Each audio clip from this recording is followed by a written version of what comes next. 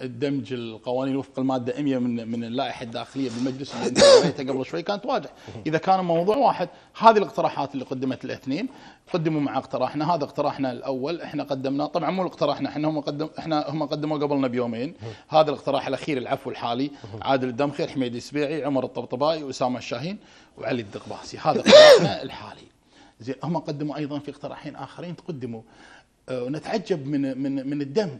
أول شيء هذا الاقتراح يعني يتكلم عن مدة عن يوم ليلة 16 17 okay. وبالتالي حددها. زين هذا الاقت- واحد اقتراح واحد من الاقتراحات يتحدث عن عفو من سنة 88 لليوم ل 2015 يتكلم عن 27 سنة.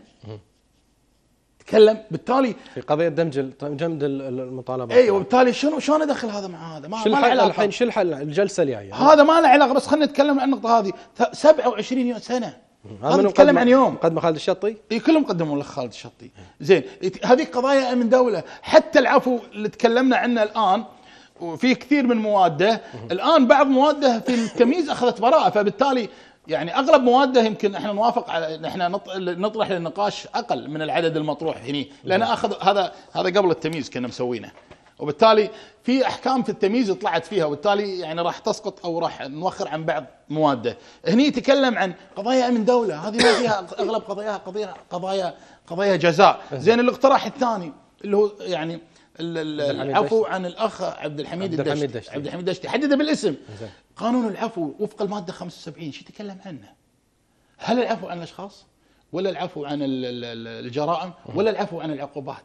هذا عفو عن عقوبة هذا عفو خاص بهالطريقة هذه مو عفو عام العفو العام هو يعفو عن الجرائم ما يعفو عن الأشخاص ولا يعفو عن العقوبات فهمتني طال عمرك okay. وبالتالي إيش علاقه هذا بهذا باقتراحنا ما له علاقة من. ناحية الموضوع. أنت تقول ما له علاقة لذلك. هذا الدمج كان لائحي.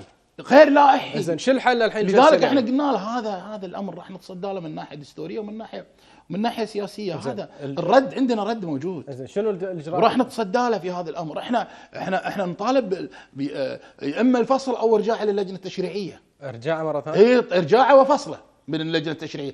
أو فصله من داخل المجلس والتصويت على العفو كل عفو لوحده لأن إحنا أصلا لما طالبنا بارجاعه لما طالبنا بإلزام ال- اللجنة التشريعية كنا نتكلم عن عفو مالنا.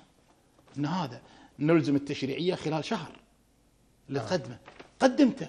زين تفاجئنا إن هذول انضموا معاهم ما كانوا موجودين في الضم.